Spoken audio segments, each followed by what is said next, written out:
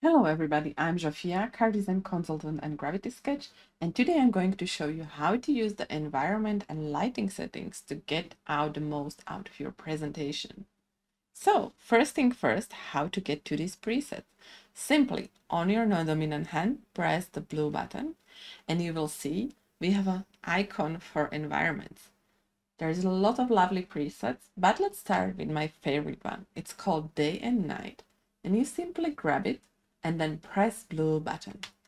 This menu will pop and you will see this bob and also you will see the time of the day, which is amazing feature. You will love it.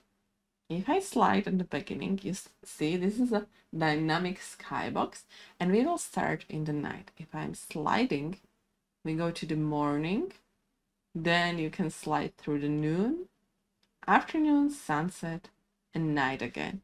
This is amazing. Everything is much more realistic. You see the, the highlights are beautiful and you can also control the north offset. For the shadows, you can either decide if you can switch or switch on the shadows, which I recommend you keep the sketch. And you have also floor grid, which can help you when you are modeling to see the grid density here, which you can set up here.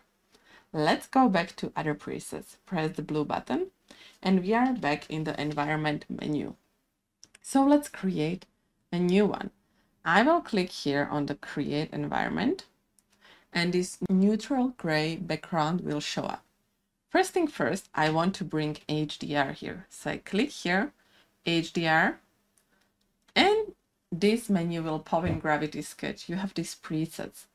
I will choose my favorite one, Sunset. And now we have this beautiful skyline background. One of the, my favorite features is that you can now grab and rotate the whole environment so you can get a perfect background for your design display. Now you see we have more settings here. So first thing first, how to change the light. You can grab it and simply intuitively rotate. You see how the sun direction is changing and this is amazing but there is one more cool feature. You grab it and you go up with the joystick and you see how much brighter everything is and you go down and you decrease the brightness. But that's not all. If you go left you can control the temperature. You go left it's much colder and if you go right you see we are going warmer warmer to very orangey sunsetty color so this is beautiful. You can now influence both of the intensity and the temperature of the light.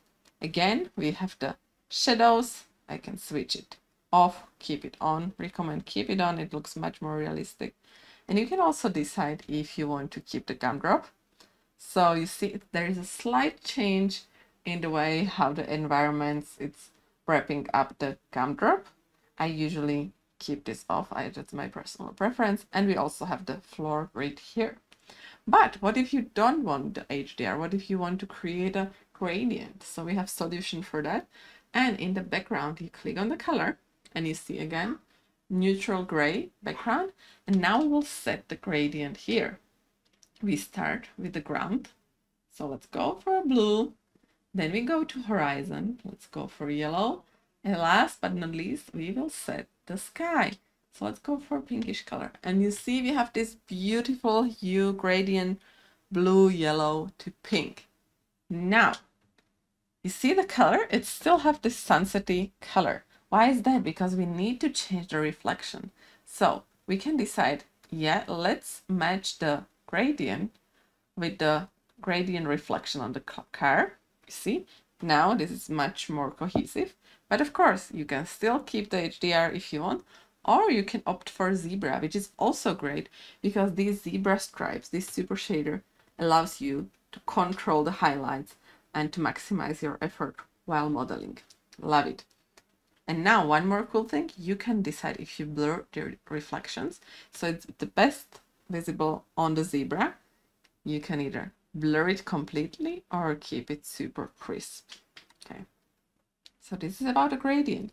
So let's say we decided to save this as our own preset. How do we do that? We just simply click here on the sunset and we can rename it as rainbow. Okay, click here, blue button, and now we have it. Just press the blue button and in the preset menu, now we have our own template, which we can always grab, press blue button, and then we can edit it again. Love it. So one super cool feature is the point of view lighting. Right now, you see, you are in the control of the lighting. So if I kind of said that the light is coming from the other side of the car, so it's super dark for me, I need to go all the way around. If you have somebody, your boss or your colleagues who never been in VR and you want to show, you, show them your presentation, make sure you set point of view lighting and now the light is following your vision, your point of view. And it's describing the car and all of its features in the best light possible. This is beautiful, super intuitive, and you always can judge the reflections and shapes. So yeah, that's all from me. I would love to hear from you which one is your favorite feature. And if you have some feedback or comments, please share it with us. And this is all, and I will see you in the next video. Bye!